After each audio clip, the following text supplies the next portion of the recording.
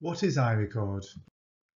iRecord is a website for submitting, verifying and sharing wildlife observations, also known as biological records, and that includes associated media such as photos. iRecord is free to use and was created by the Biological Records Centre to support naturalists and biological recording schemes and societies.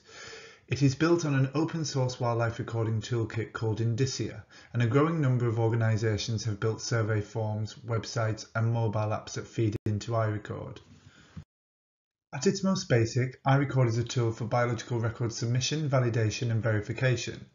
However, for many recording schemes and societies, it is also a tool that plays an important role in all aspects of the biological recording data flow pathway, including record creation and sharing of biological records. Some key benefits that iRecord facilitates include biological record submission, data validation, verification of species identifications, and personal record collation and storage. The iRecord system acts as a biological record submission form and allows the recorder to pass on their data to biological recording schemes and societies iRecord facilitates data validation by ensuring that data is recorded in formats that are consistent and correct. As well as improving data accuracy, this also allows biological records to be grouped and compared. Records are assessed by designated verifiers that have sufficient experience of a given species group, often local or even national experts. Verifiers assess the likely accuracy of the species identification based on various factors, such as recorder experience, ID difficulty, and any images provided.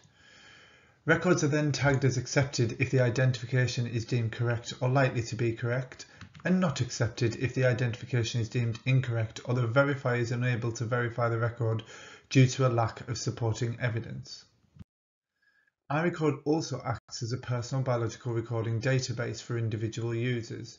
It provides a one-stop shop for storing records of all species groups, and iRecord account holders can download their personal records from the website. The record menu on the home screen lists the forms that can be used to submit biological records into the system. The Explore menu has various options for delving into the data on iRecord.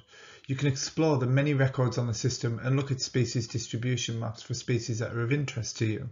You can also check your notifications here and download your personal records. The Summarize menu allows you to see various summaries of your own data, as well as the data summaries for various surveys and iRecord based apps. The Activities tab is where you can access the many recording initiatives that have been set up on the platform. Check out my Understanding iRecord Activities video for a detailed explanation of how activities work on iRecord. The Forum tab is a useful place to look for answers to any questions that you may have and to share your thoughts and feedback with the iRecord community. The Help menu has a number of guidance and troubleshooting pages for various topics. The iRecord user manual is located here and a great source of further information and how-to guides.